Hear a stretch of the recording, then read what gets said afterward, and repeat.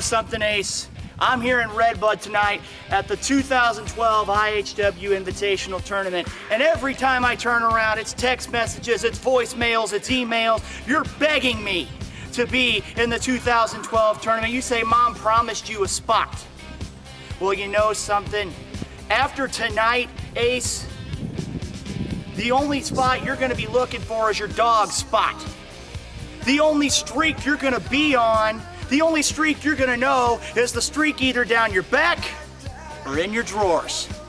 Tonight, you think you're gonna start a winning streak? You're gonna be on that super high pedestal? Tonight, I'm gonna make an example of you once again.